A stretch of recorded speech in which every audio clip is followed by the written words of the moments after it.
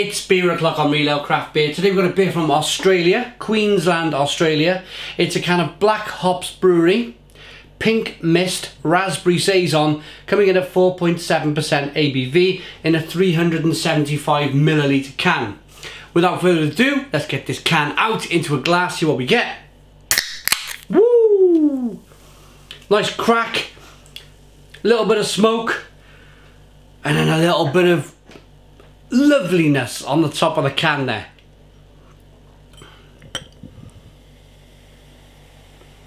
But look at the colour.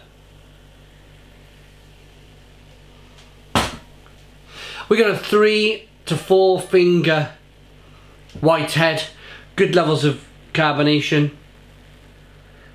turning it into a slightly kind of hazy looking beer.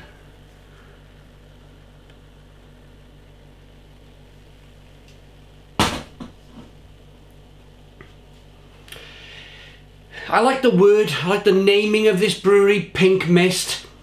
It's an amber coloured beer, but there's a slight pink kind of hue to it, a, a bit like an autumn sunset. It looks lovely. Let's get the nose on the beer then.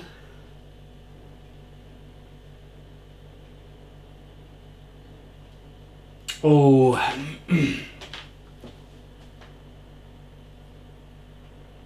yeah, most definitely a saison. Funky, fruity, fresh. A little bit zingy. Definitely get the raspberries. A little bit of horse blanket.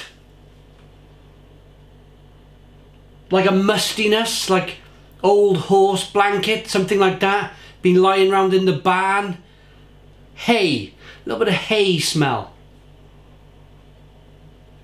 Oh, it smells delicious. Let's dive in. Cheers, everybody.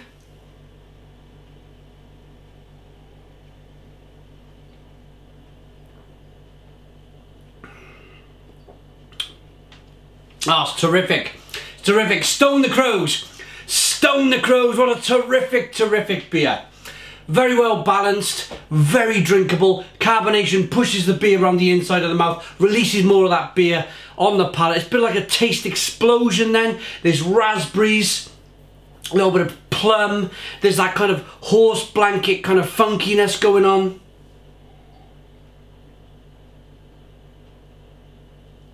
From that Saison yeast.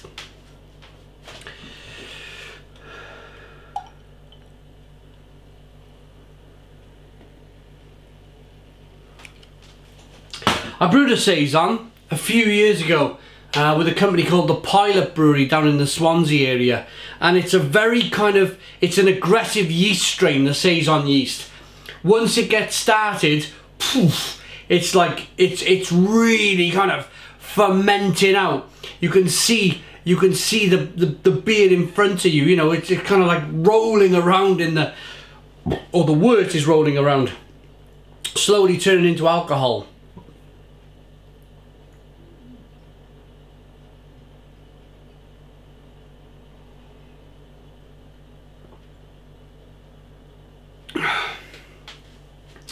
But it's a subtle, it's like sweetness coming through from the raspberries, a subtle raspberry taste. A bit like, it's a very clever name, this raspberry mist. It's subtle, it's like mist. Mist will get you wet, but you don't really feel like you're getting wet, do you, if you're walking in the mist? But boy, you know, it will it will kind of wet your hair and stuff as you're walking through it. Um, and it's that subtle subtleness of the of the the raspberry mist as they call it the subtleness of mist makes its way into the beer. It's a subtle raspberry flavor. And then as i mentioned it's that horse blanket a little bit of peppery spicy bitter hops on the back end.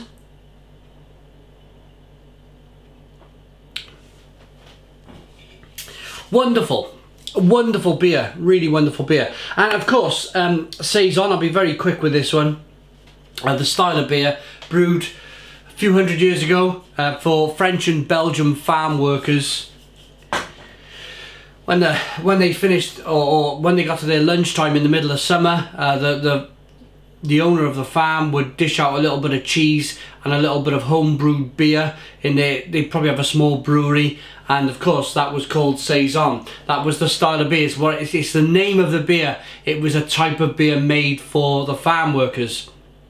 Like a daytime table beer if you like. Um, and it just gave them a, it lifted their spirits just to get them through the afternoon.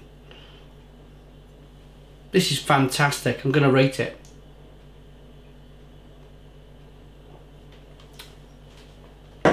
I really like that.